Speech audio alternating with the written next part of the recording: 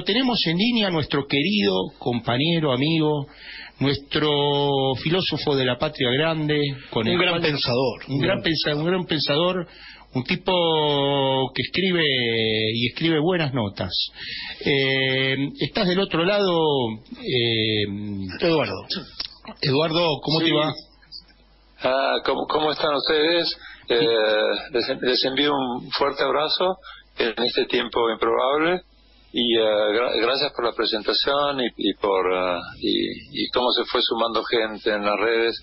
Eh, que escuche el país eh, mi voz que serán todas las voces que es lo importante. Les agradezco nuevamente el, no, los agradecidos, los agradecidos somos nosotros, pero el agradecimiento tendría que venir de la audiencia porque este es un trabajo militante que hacemos desde, Radio Rebelde y es un trabajo militante el que estás haciendo vos también en este caso, eh, tratando de desasnar, de desasnar, este, un poco en este programa Justicia Modo Rebelde, porque hablamos de la justicia, pero hablamos de la justicia, digamos, en una forma de justicia social, pero vos has tocado acá eh, el tema de desobedecer el persaltum. ¿Qué significa esto? Surgió hace unos años, no es nuevo, la instancia de, desobedecer en mí, desde niño desobedecido. Eh, de, ahí eh, los, los contratiempos no menores que me han sucedido en mi vida por, por tener contacto bueno con con, con, con, esa clase oprobiosa, ¿no? Que se llama, que, es la oligarquía, la burguesía pudibunda, eh, que todo lo degrada y lo ha degradado a lo largo de 200 años en Argentina y, bueno, y en Latinoamérica y en el mundo, o sea, tenemos que hacerlo extensivo. En eso me voy a globalizar, ¿no? Y, uh, y creo en la desobediencia y, uh, y hacerla nuestra, eh, cuando el poder de ignorantes, cómplices, soberbios, groseros, estafadores y cuanto calificativo similar se pueda asimilar, eh, eh, atentan contra eh, los pueblos, el vivir de los pueblos, porque existe una cultura de la pobreza que parece que se eleva símbolo para esta para esta gente. No sé si si ubicarlos dentro de, eh, de la calidad de ser, ¿no? En el, en, el, más estricto sentido ontológico, pero realmente me causan, eh, me provocan náuseas y cierta ira que ya no es vocacional. Eh, estos que conforman la obtusa realidad que debemos soportar ante una instancia muy grave que atraviesa la humanidad y Argentina en este, en este tiempo sobre todo, que es la pandemia, la que no podemos ignorar eh, eh, esto, nos provoca algo muy similar a un estado de guerra con, con un virus, pero de manera subyacente, esta gente apoyada y apuntalada por, por esa denominada oposición oprobiosa, que es el, se llama PRO o Cambiemos. Lástima que tomaron esa palabra tan fantástica que es Cambiemos, ¿no? Porque cada vez que la pronuncio, viste, te remite inmediatamente. Es decir, la logística, la articulación, la trama y el lineamiento que están siguiendo día a día, hora a hora, eh, lo están haciendo en unidad y no podemos negarnos a admitir, admitirlo. Y eh, mientras tanto se, se debate en el modo de, porque están confrontando, nos han declarado una guerra.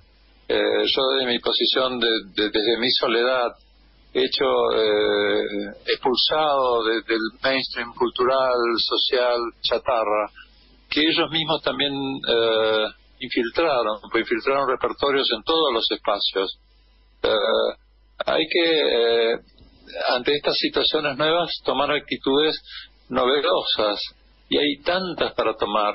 Entonces, eh, de pronto, estoy en las redes que es donde me puedo manejar nada más no tengo no tengo voz en mi país Argentina por estar silenciado amenazado y censurado sabemos por quién. Es decir eh, hay tantas cosas que se ocultan y pactos eh, a, espaldas de los pueblos e inclusive a espaldas de los de las masas amorfas que marchan en sus 4x4, que no tienen idea de por qué marchan ni mucho menos, simplemente los, los guías un odio ah, de, de desclasados, pues en realidad no tienen pertenencia.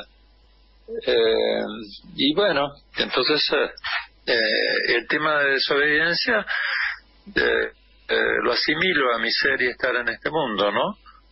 porque no admito el poder de ignorantes, a sus cómplices, a la justicia criminal eh, espectral hoy eh, desde siempre, porque es desde siempre. A esos jueces que treparon haciendo una carrera judicial, hicieron a jueces y ya se agregan un segundo apellido, o a esos economistas como ese Martín Pérez Redrado que sacó el Pérez y quedó el Redrado, ¿no? Cuando era presidente del Banco Central. Un pobre pibe, ¿viste? Que, que, que, dicen que es consultor de organizaciones internacionales. No, mentira, no es consultor de nada, será consultor de empresas offshore. O sea, hablo de gente que conozco, no hablo nunca de nadie que no conozco.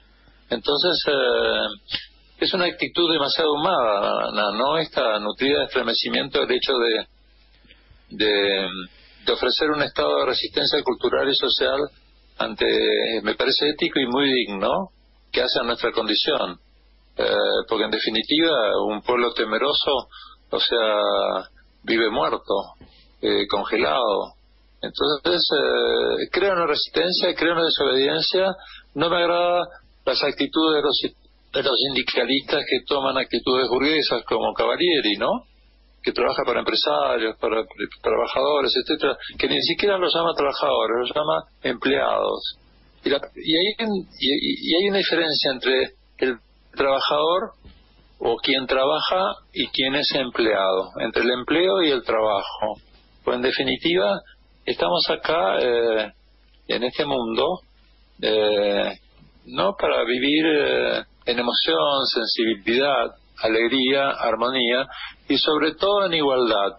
Que la diferencia se base simplemente en el talento que tiene cada uno para desenvolverse en el rol que le ha tocado en suerte. Y eso viene del nacimiento. Hay que construirlo también con valentía, porque permanecer siendo uno mismo según los avatares que la vida nos presenta, no es fácil, sobre todo en este tercer milenio, donde la brutalidad eh, ha tomado cuerpo. Basta ver el debate de, Trump con el otro, me olvidé el nombre del, otro señor, que, que pretenden ser eh, presidentes de... No, no hay normalidad ya, el mundo se dio vuelta.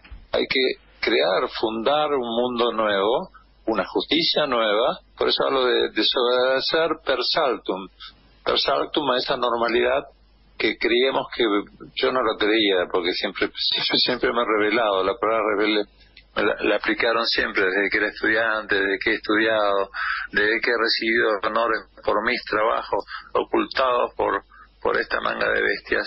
Y quiero agregar algo más, me estoy alargando un poco, pero murió Quino, ¿no?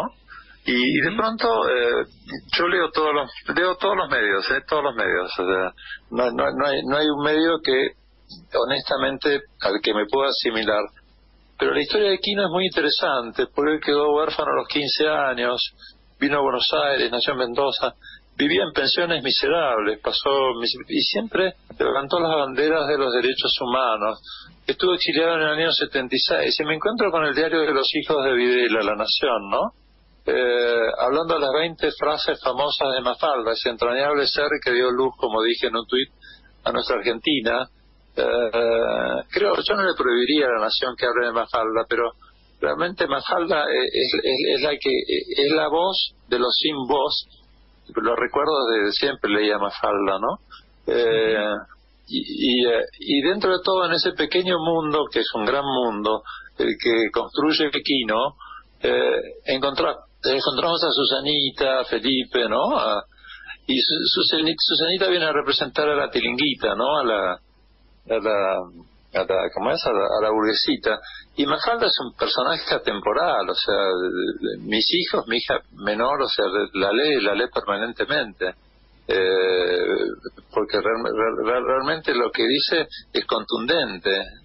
Se nos dispara una sonrisa, pero no podemos dejar de, de, decir lo que la significancia y significado de que tuvo Quino que se elevó más allá de lo que es la historieta. También decir que jamás ha escrito en los en, las corporaciones de medios. Él ha escrito en Diario El Mundo, escribió, empezó escribiendo en primera plana, no sé si recuerdan aquel medio que que fue muy importante, porque inclusive pasó, le hacían entrevistas, realmente era plural, porque eh, pasaban una entrevista a Arafat, a otra a Gaddafi, y de Gaddafi a Martin Luther King. No es menor lo que estoy diciendo, ¿no? Eh, acerca de, de, lo que fue primera plana. Bueno, Kino era el... No, no, no lo quiero llamar historiote, como hay historietista, no sé qué nombre tiene, que, o sea, era algo más, eh, se elevaba sobre la media en ese sentido. Eh, y nos ha regalado en el habido límite de la existencia Mafalda. Eh, entonces Kino tenía ciertas ideas, eh, cierta reiterativa inclusión de historias miserables, profundas y muy tristes a veces, que era una de las mejores herramientas literarias de, de nuestra sociedad argentina. La supo reflejar de un modo impresionante. O sea, con esa clase media, el padre pertenecía a la clase media, con ese Citroën 12B, recuerdan que que lo dibujaba en esos diálogos frescos y bastante auténticos.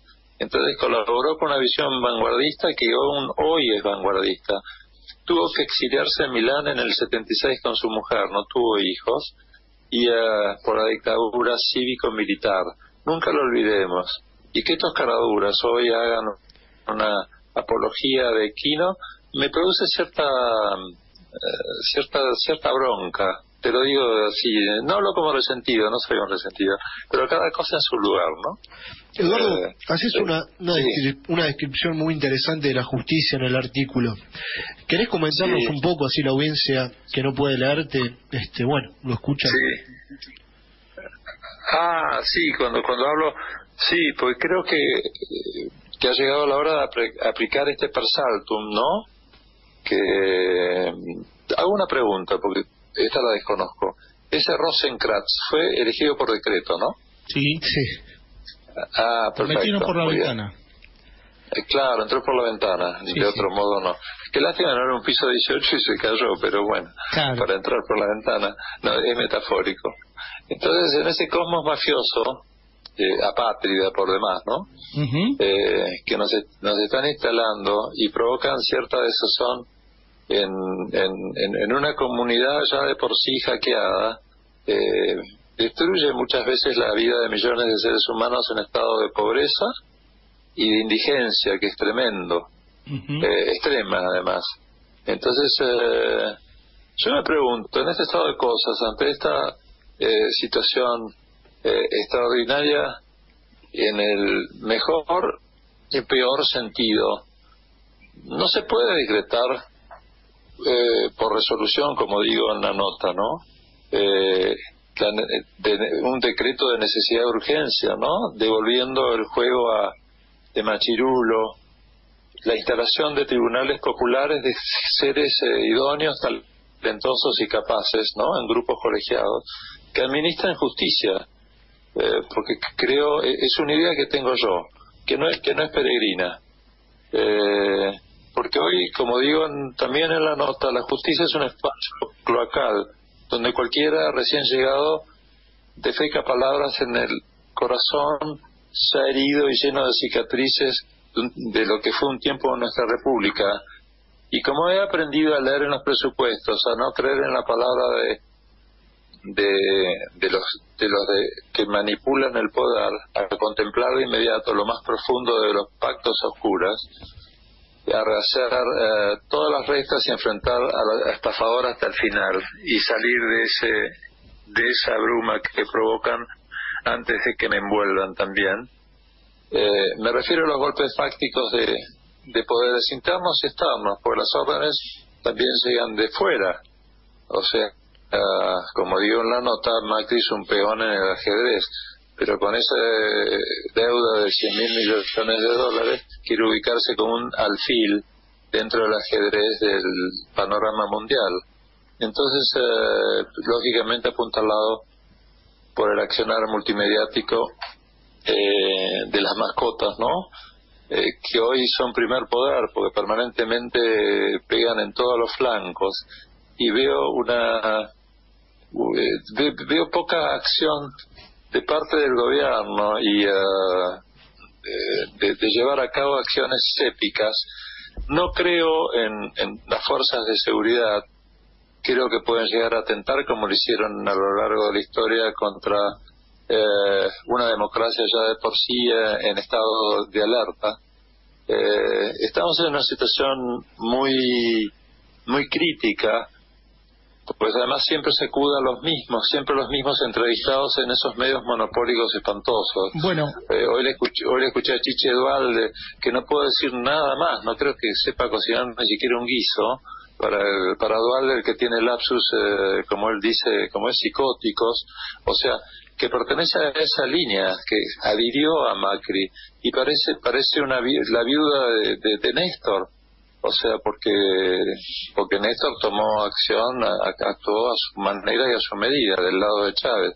Desgraciadamente su su banquero creo que era un tal Jorge Brito, hijo de un policía, su oficial, oficial, que era vecino mío cuando vivía en el barrio de Belgrano y yo soy hijo de un milico de mierda, disculpen, pero es así.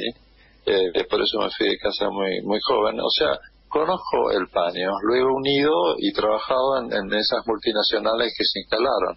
Llámese Sacetu, Tru, Banco Ambrosiano, etcétera. Y Brito empezó en una mesa de dinero, después tuvo problemas y creo que un tal Coti, no siglia, eh, el denominado monje negro, un personaje nefasto para la Argentina, no solamente para Raquel Mancini, ¿no? Eh, eh, que le destruyó la vida. Hablo de gente que he visto y conozco. Yo no hablo de taquito ni por chismes, no, no me agrada. Eh, no, no, no, no me agrada, no me agrada hablar de lo que no sé de gente que no conozco. O sea, de hablar de, eh, como es, lo que yo estoy hablando no son chismes, son simplemente gente con la que me he cruzado, que, que, ha confrontado y que son los causantes de mi censura y silenciamiento en Argentina, que en el exterior no lo comprenden mucho, porque en definitiva hablar con la verdad, para la verdad, inclusive a riesgo de mi vida porque he sufrido atentados, no me parece un hecho que no sea digno de ser mencionado. Yo he escrito en el diario Perfil Fundacional, que era del país de Madrid, si te fijas, he escrito y notas muy poderosas en todos los espacios, como editor, si te fijas en Wikipedia, yo no existo. Es decir, eh, tengo todos los diarios conmigo para mostrarlos, o sea, tengo materia de prueba de todo lo que digo. Y ese estado de cosas, discúlpame, lo autorreferencial no como millennials que no soy, sino simplemente porque eh, tengo eh, puedo hablar de mí, no puedo hablar, no puedo hablar de vos, puedo, puedo, puedo tener eh, empatía contigo, ¿entendés? Y, y hablando de esta justicia que no es empática, que es grosera, como el accionar y el vivir de vivir, bueno, podemos de algún modo, de, estos ricachones, eh, tampoco estoy de acuerdo con esta donación o esta ley de un mes. No, no, no, no, no. Es hora de que se pongan, que se pongan hasta que no sé cuándo se saldrá de esta pandemia y va a venir en aumento porque fue elaborada en un laboratorio.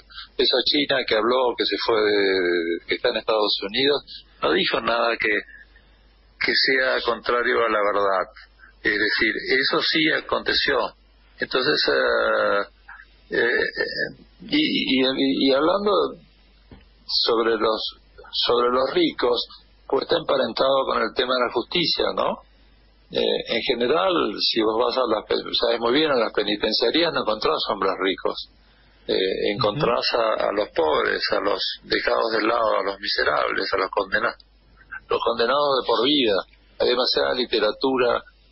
Eh, bueno, espero que no, no aburre a la, audiencia, porque hoy, hoy, estoy en, una especie de docente pedagógico pero hay una serie de estudios ya sacados por en, la Universidad de California eh, que llegó a la conclusión de que las personas con más dinero son los más propensos a ser groseros. Esto es una nota de color, ¿no? Pues es real lo que estoy diciendo. Existe el estudio, ¿no? Y, y salirse de las normas y dar un paso al costado de la ley, que la elevan ellos a delito. ¿Te das cuenta? Sí, sí, sí. sí o sea, son los menos empáticos con el resto de, la población. Eh, y eso lo podemos ver en, en, el cine, en la, literatura. Bueno, son una suerte de psicópatas, ¿no? Este, son una suerte de, de, psicópatas. Sí, sí. Estamos manejados por un ejército de psicópatas que psicopatean a una parte de la población y bueno, y los llevan a quemar barbijos, a negar la pandemia, a negar que Macri fue un hijo de puta, a negar que la justicia está transformada por estos detritos sociales que van a vomitar toda su, su mierda y su miseria dentro de sus fallos judiciales. Y bueno, como vos decís siempre, nunca te rindas. Este, no, no, no, no, no, no hay que rendirse porque esta vida, eh, la vida esta es un regalo para mí.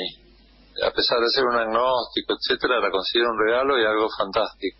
A pesar de los golpes, etcétera. Y, eh, y, y, y, se podría hacer un análisis, yo no tengo demasiado tiempo, si no lo haría pormenorizado de las patologías que tiene Mauricio Macri, que son muy, muy evidentes, ¿no? Esa ansia de venganza, ese, ese, ese rechazo a lo que es el pueblo argentino, debe haber sufrido mucho en el colegio Cardinal Newman, donde mis primos eh, burgueses oligarcas fueron, o sea, conozco a la gente que va. Y quizás el hecho de no haber jugado al rugby, ¿viste? Porque no le daba el pineo, no tengo idea, no me gusta el rugby, pero bueno, estoy tratando de elaborar teorías de, del origen, pues siempre eh, en eso en eso Freud no falló, ¿viste? Hay que ir al origen a la infancia, ¿no? Bueno, Eduardo, nos, están haciendo señas de... Pero, es interesante, ah. es, interesante lo de Macri, lo vamos a hablar en, en un próximo programa seguramente. Les, sí, sí, sí. Les sugerimos... bueno, y, me quiero despedir eh, sabiendo que somos inmortales, inmortales. Y, voy a leer un poquito el final de, de mi editorial de hoy, que no está en internet y no la encuentro, eh, en la cual digo revolucionar, desarrollar, igualar, compartir, vivir, morir, están hoy más que nunca ligados indisolublemente. Lo han visionado apocalípticos visionarios, poetas, soñadores y sabios, y si el apocalipsis se equivoca será porque ocurrirá algo improbable, y en tal sentido habrá tenido razón. Nos preparamos para lo improbable. Espero que el, eh, que, que, se animen y salgan con tres barbijos y mucho alcohol, millones de, de gente del pueblo sensible, ¿no? Ah, a las calles. Es lo que yo ansío para ya terminar con esas marchas de, los 4x4, de esas masas amorfas eh, inorgánicas que realmente provocan eh, malestar y, el, no, es tiempo para provocar malestar en la población. Es lo único que yo puedo decir hoy. Puedo decir muchas cosas más o recitar poemas. Bárbaro, agradezco muchísimo. Gracias a, gracias a vos. el artículo el artículo al que te hacía referencia lo pueden encontrar que se llama Desobedecer per saltum. Que fue escrito para Nova. Así que bueno pueden leerlo de ahí. Después vamos a pasar la dirección Sí, no, tiene la amabilidad de, de, publicar eh, luego luego de, bajarme la cortina en el Uruguay de la calle Pú eh, Blanco. Eh, bueno, tengo que escribir en un lado, si no saldré a escribir en las paredes como en otro tiempo. Te, vamos, te, vamos, te vamos a seguir convocando, Eduardo. Un abrazo enorme y muchas gracias. Gracias. Chao, un abrazo. ah, saludos a todos, a todos, a todos los que están ahí porque los, los veo en Twitter. Bárbaro. Gracias, Eduardo. Un abrazo enorme.